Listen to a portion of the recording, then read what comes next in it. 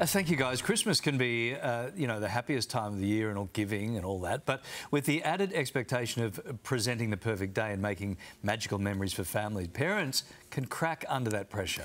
Now, life coach and mum of seven, Hannah Keeley, is busy using her background in behavioural therapy and neuroscience to help parents spot the warning signs.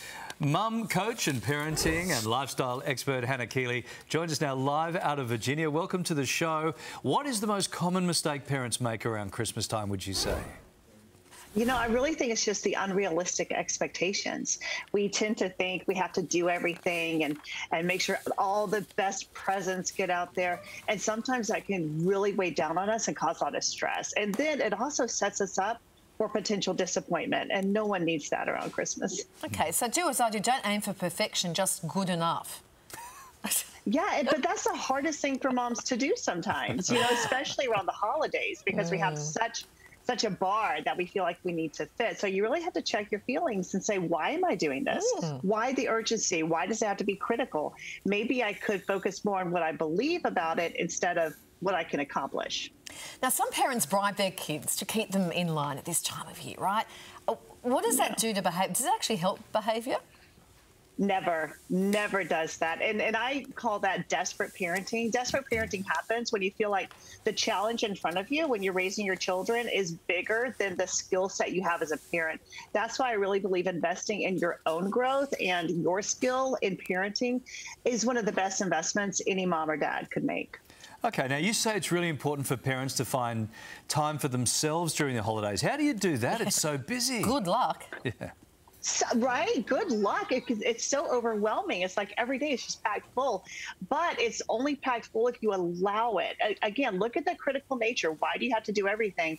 And you have to be intentional. No one's going to come to to mom and say, "Mom, you really need to take a few days. Like, just hang out. I'll make you some hot chocolate." Never happens. We have to make it happen, and it's okay. You don't have to be a martyr mom and do everything be intentional about setting aside time for yourself. Yeah, maybe just saying, I'm just going for a walk now and, and take that walk at, you know, 4.30 in the afternoon. Speaking of being Take a walk, lock to yourself airport, in the bathroom, the whatever it takes. One-way ticket. Speaking of being busy, Christmas can be stressful. What causes uh, parental stress and how do you tackle it? How do you tackle the stress? Um, again, it's the overwhelm, like you mentioned, is a big part of it.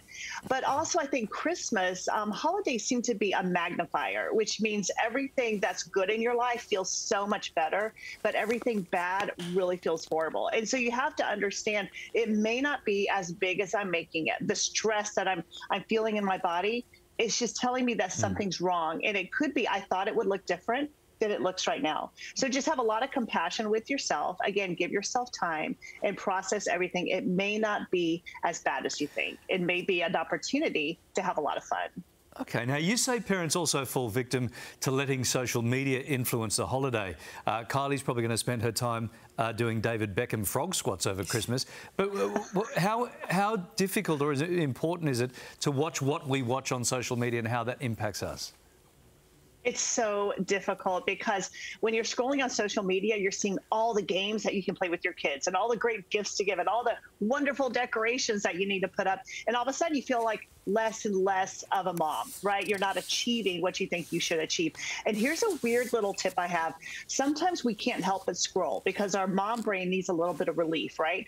So whenever you scroll, just set an alarm. Like you can just tell your phone, set an alarm for 15 minutes. But when it goes off, get off social media and just do a quick check. Am I stressed? Do I feel better or worse than I did when I got on? And it may help you temper that a little bit. I like the alarm idea. That's a really good idea. Yeah, I have velvet bow envy this year. Everyone's got these beautiful velvet bows. I don't have them and I'm, I'm very envious. Yeah, I'll, I'll I'm so sorry. yeah. Organising, I will get over it. Organising celebrations can be overwhelming. Uh, how do you stay on top of everything?